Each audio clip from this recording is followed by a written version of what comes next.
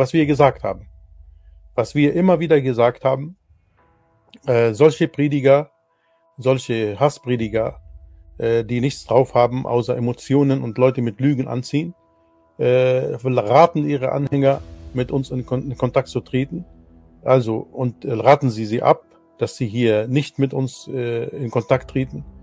Und das haben wir immer gesagt. Und das hat, er hat jetzt selber bestätigt, dass er das immer wieder gesagt hat, dass die Leute äh, sich nicht drum kümmern.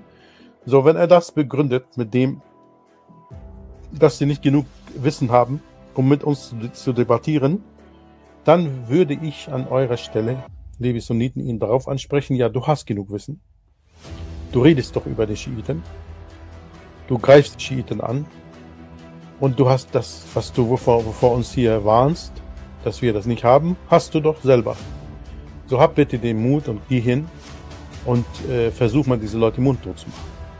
Wir versichern, wir versichern, dass keiner von uns mit ihnen ohne Respekt reden wird. Keiner von uns wird ihn verletzen. Er wird äh, die Möglichkeit bekommen, um äh, sein Wort zu sagen. Er wird nicht unterbrochen. Und ich von mir aus, ich kann auch auf äh, die Hälfte meiner Zeit verzichten, dass er äh, doppelt so viel wie ich redet. Und ich höre, äh, sagen wir, zweimal zu und antworte ich nur einmal.